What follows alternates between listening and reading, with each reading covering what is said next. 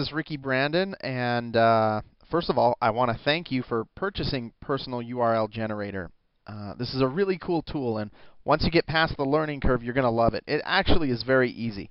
Right now, I'm going to show you how to download and unzip Personal URL, URL Generator um, in order to upload it to your website. Again, we're just going to cover downloading it and unzipping or extracting the files and getting them ready to upload. In a different video, we'll cover FTPing or uploading them to your website and installing the actual program.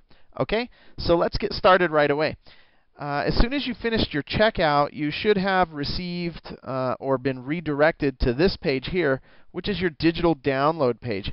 If for some reason that didn't happen, uh, you'll receive an email that will link you to this page. If for some reason you didn't receive that digital download email, then please contact me and I'll look up your order and resend it to you. Anyway, so you go to this page here, this personal URL generator digital download page, and you click this link.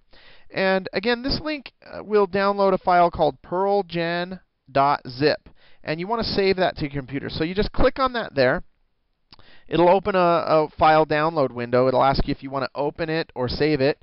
You're going to want to save it.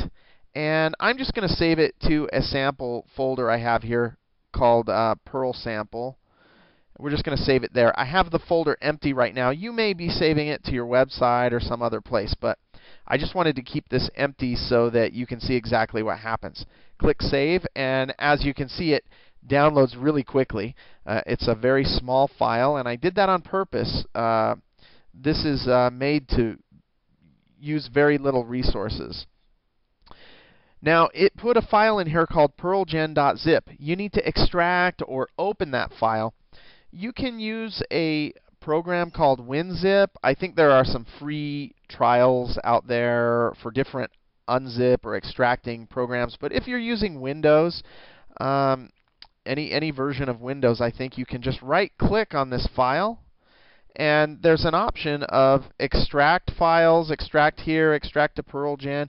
I usually just do extract here, um, or you can can tell it where you want it to extract to. But it, it's uh, on your version, it may not say the same thing, but it's some version of the word extract. So you just click that, and you'll see what happens.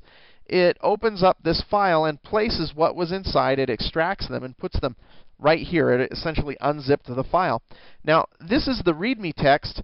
You're not going to need the README text because you're watching this video. But if you want to look at that, there's uh, some support numbers and things like that in there, and some installation instructions. This is the Perl uh, tool, the uh, Instant Perl Generator. This install perl.php is what we're going to upload to our website or our web host or web server. Now, a lot of people uh, write to me and say, look, I tried to double click that, I tried to install it, and it just really was confusing. My computer didn't know what to open it with. That's because this file, this tool, is never meant to run on your local computer or on your machine. It's meant to run totally in the web server, totally on your website. So uh, don't try to double click it, don't try to open it because it's just a bunch of code and it's going to confuse you and your computer's not going to know what to open it with. Um, so just leave it alone and move on to the next video where we teach you how to upload and install this tool. So that's it. You've made it through the first steps. Fantastic. Uh, that wasn't so bad, was it?